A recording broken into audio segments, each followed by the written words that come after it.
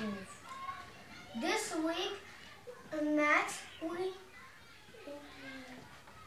we looked on 3D shapes.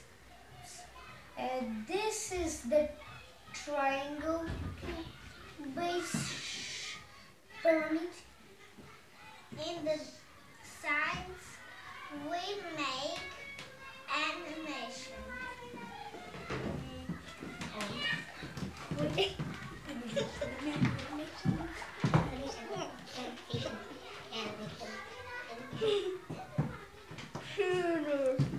we look now? No, we can't.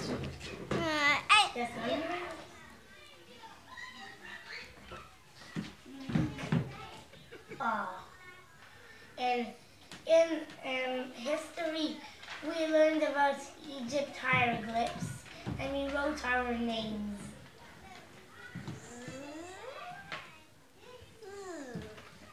Thanks for watching. Bye. Bye.